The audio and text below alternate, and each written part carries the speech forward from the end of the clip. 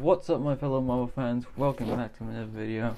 Now before we start, I just want to say happy December to all you Marvel fans.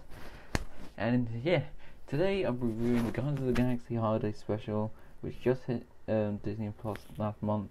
I know I'm late, but sorry, I keep forgetting to do this. So, with Guardians of the Galaxy Holiday Special, we take place years after Volume as the Endgame, where um, the Guardians are, have uh, owned Knowhere and uh, Mantis and Drax are trying to give Peter a present.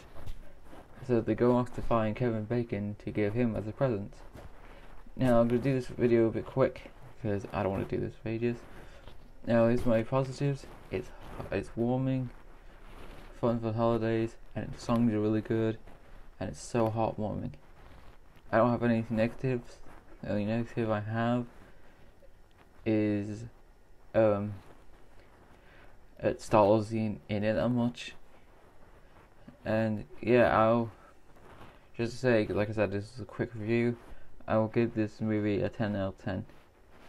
If you like Christmas, go watch it. Okay, see ya.